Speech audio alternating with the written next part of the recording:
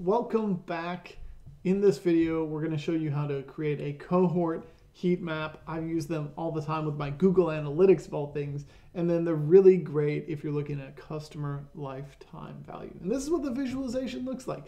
It looks like this matrix. It's sort of half filled in. You have your cohorts based on the time when they have their first order, and then a certain period, and the amount of consumption of what that looks like. And the values you put in the heat map are sort of arbitrary we'll use in our data Tableau Superstore 2020.4. We'll use uh, customer names, but then we'll use sales for our values because it's very typical. Again, been trying to keep it as generic as possible. A sales could be any value. It's a placeholder for the analysis. And then our periods. And we're doing this by quarter, but you could break it out at any type you want to do by year, by month, by week. It doesn't matter. It just looks nice with this data, how we have it set up here. So let's build this viz. I'm going to start with a new sheet. And on that new sheet, I'm going to create a new calculated field. And we'll just call this, um, actually, even better yet, we'll go and find order date, which is our main field for the date field. I'm going to right click and create a custom date. And I'm going to use this because then I don't deal with Tableau's hierarchy at all. I'm just going to call this quarter. I'm going to put a, a space here. I'm going to choose quarters and I'm going to choose date value. Very important I choose date value over date part. I've added in a little space here because I already have a calculation called quarter. So quarter with a space for me. Next, we're going to create a new calculated field. We're going to call cohort. We're going to figure out when those cohorts started. I'm also going to add a space because I, again, have this calculation created. But we'll just use a fixed statement and we'll say for customer name, let's calculate the min of the quarter. And remember, mine has a space. You probably could just have it as is, but that's it. This will tell us the starting point for any particular quarter whatsoever. We'll just say, okay, cohort quarter done. This is a perfect calculation. We don't want to change it one bit. I'm going to hit OK. We're actually almost done. In fact, we can take cohort and place this out on on uh, on our rows, and we can change this to an exact date. And we'll also change it to discrete. Very important we choose discrete. And the, the labels here are fine. Let's just do entire view. Uh, we'll format those at the end. Now that we have this created, we need to figure out the period. So I'm going to create a third calculation. We call it period. So it's the number of periods since that first order. We're going to use the date diff calculation. And we're going to do this with three parts. The first part is the date part, then we need the start date and the end date. So our date part is all lowercase in quotes quarter. Our second part is our cohort. So that's going to be our start date. And our end date is just our quarter, the value of any of our orders. That's it. That's period. And the reason I have an error is because it already exists. So I'll just add a space, keep it inconsistent afterwards. So period with a space. Let's take that value, place that out on columns, we're going to have to change this again to dimension. We'll change it to discrete as well. That's it. We now have almost this whole thing done. The last thing I could do is place it on sales. Oh, dang, you know what just happened? Is if you look at this, we have spaces in here, empty spots where no orders were made. Well, that's extremely frustrating. How do we fill those in?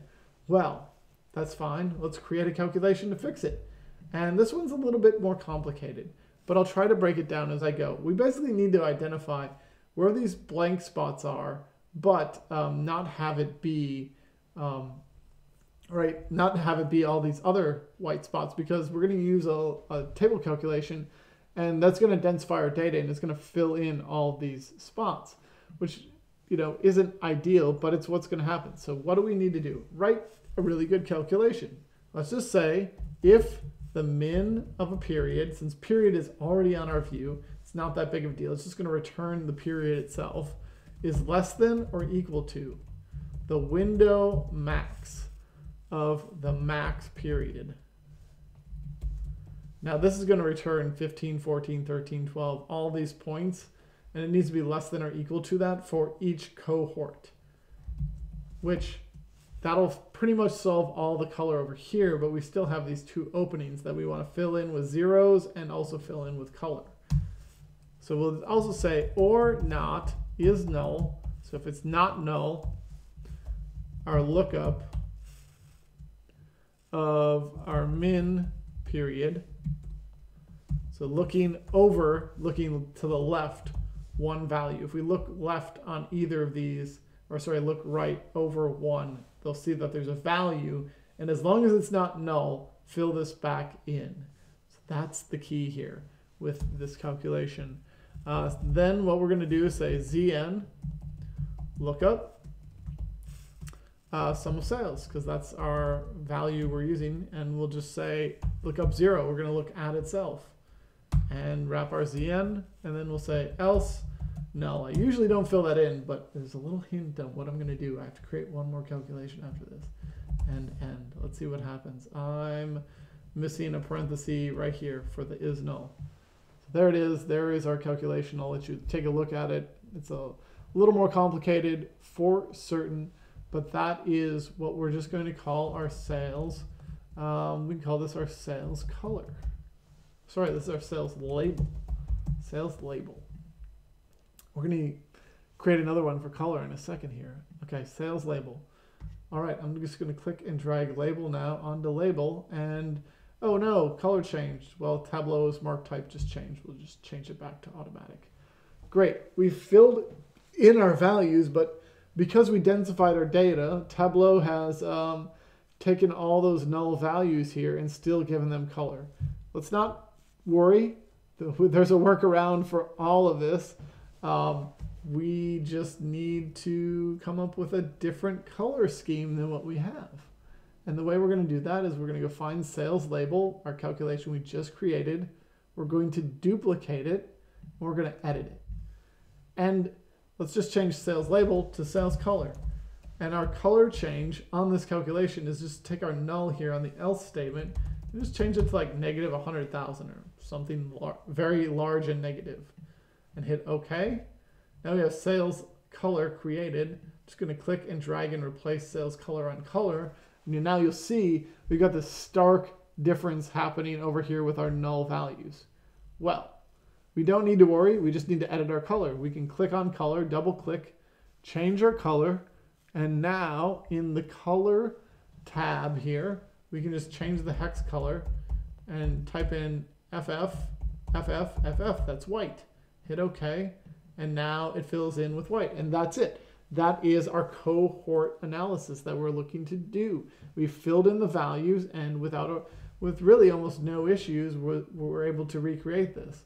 Um, you know, the labels are a little bit weird. We could just right click on the cohort, format the values and do a custom value. And we'll type in here year, year, year. So that brings the year and then in a space and in quotes Q because we need to say like the, the actual quarter and then another Q not in quotes, that's going to return the numeric value. So now we have the cohort and the, the quarter sort of returning for each of those. And that's it. That is our cohort matrix. Uh, I use this one way more than you think, and, and it really doesn't take that much to do. Yeah, there's a couple calculations to really nail down the formatting and the color, but to create the core concept, the core visualization doesn't take much. Anyway, that's our video. If you did enjoy, be sure to like it down below. And of course, hit the subscribe button to get all this content direct to you. Uh, so you don't have to come back to YouTube and, and uh, you know, search for it. It's just there. It's in your inbox. Anyway, we'll catch you in the next one and we'll see you around.